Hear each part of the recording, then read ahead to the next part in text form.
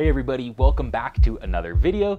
In this one, we're going to be comparing white versus performance yellow versus amber off-road lights.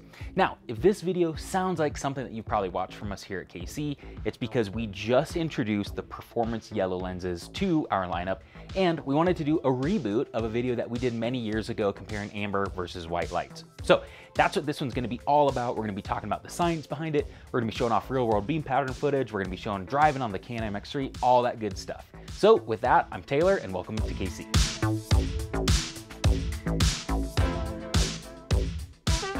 All right, so let's start off by cutting right to the chase and describing when is the best scenario or the best possible environment to use each different option for off-road lighting. So uh, starting here on the white light, this is gonna be best for super clear, high visibility type conditions. So this is gonna be when there's no fog, no dust, no snow, or anything like that in the air to disrupt the, the light itself from penetrating onto the trail, right? So super clear, wide open environments, perfect for white lights, or when you are leading the trail on a night run, you got a bunch of your friends behind you, things like that.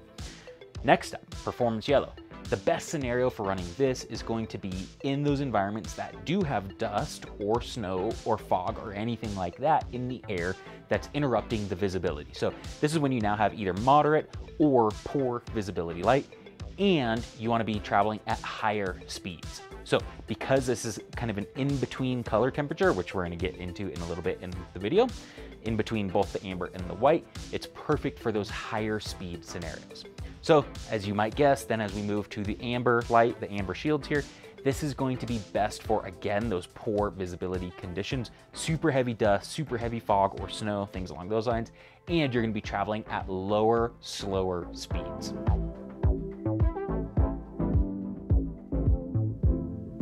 Okay, so now that you know the best option to use in your particular conditions or environments, let's take a look at why that might be. First things that we have to cover, the most fundamental, I think, of all of it is the Kelvin scale. A lot of you have probably already heard this, but in a nutshell, the Kelvin scale is a unit of measurement that describes the color temperature of a light source. So in other words, this describes the warmth or the coolness of a light. So on the lower side of the Kelvin scale is the oranges, the, the reds, the oranges, the yellows. And then as it works its way up the scale, it kind of passes through the white spectrum all the way into the blues and then the violets on the high side of the Kelvin scale. So just for references, you're going somewhere in the 2000s for the oranges and the reds, all the way up to the 8, 9, 10s upper for the blues and the violets, things along those lines. So with that being said, where does each one of these fall on that Kelvin scale? So we'll start here at white because this is kind of the central point. So white is right in that 5,000 to 5,500 Kelvin area. Think of this as noon on a nice sunny day, that sun is bright overhead. That's about that 5,000 to 5,500 Kelvin temperature that you're gonna be looking at for this light right here. Then moving more on the inside for the performance yellow lens itself, this is going to be roughly in that 2500 Kelvin spectrum. Then again, lower down the scale is our amber light, and this is gonna be roughly in that 2000 Kelvin side of the spectrum.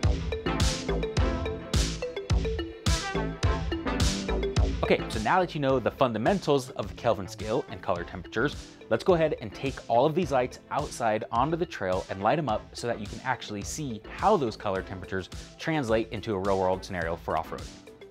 So in order to gain that increased visibility in those poor visibility conditions like the dust, the snow, the fog, the things like that, it's really important to understand what the compromises are that kind of facilitate that. So in order to do that, we wanted to set up a couple different things and show off what that really looks like as you're on the trail at night. So um, realistically, as you work your way down on that color spectrum, you will expect to see a loss in usable output as you go from the white to the performance yellow down to the amber. So we are out here right now, right behind me, we have the light set up on a stand and then pointed down the trail, we have reflective traffic cones set up at every 50 foot intervals. Now the cool part that we did is we brought our lux meter out here and we set that up at the first 50 foot interval. If you don't know what lux measurements are, it's really just a real world measurement of true light output.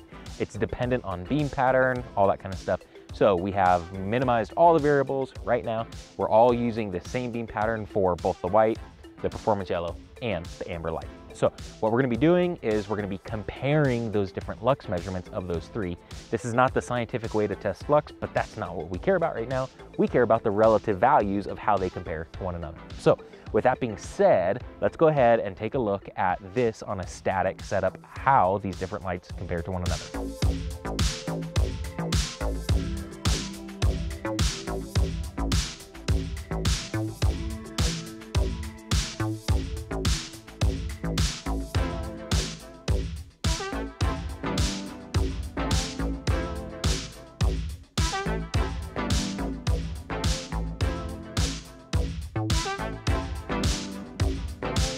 So um, the next step is for us to go out and actually show off real world beam pattern footage in the Can-Am right now. So we got the GoPro here, we got a GoPro here, we got all kinds of good stuff. We're gonna show that off right now. So uh, let's dive right into that and we're gonna start with white, then we'll switch over to the performance yellow and then we will swap to the amber uh, to kind of finish off the video. So yeah, let's get to it.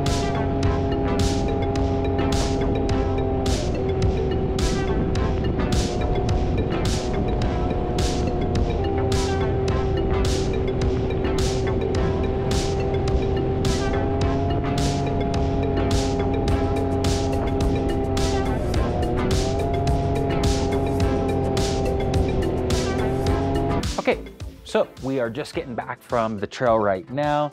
And overall, that was a really interesting look at the differences between the white versus the performance yellow versus the amber off-road lights. So um, it was really cool for me to even compare those different lux values while we were out there um, during those static session while we had kind of the lights on that single uh, little tripod stand set up aimed down the trail. Really fascinating stuff, really cool to see that. So just a little bit of a summary, a little bit of a conclusion here for y'all.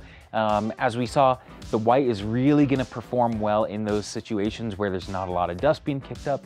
The performance yellow is gonna do um, a really good job in moderate um, visibility conditions um, where there is dust, snow, fog, things along those lines, and you actually wanna be traveling at a higher speed.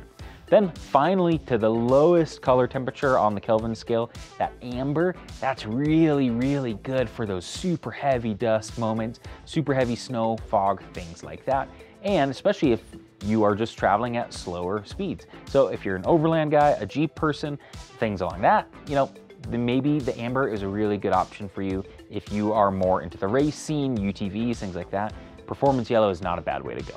So if you found this video useful, please give us a big thumbs up. If you got questions still remaining after all this, please leave it in the comment section below or give us a phone call. We're happy to chat and kind of get your, your questions all dialed in for you. So thanks for tuning in and remember to adventure further.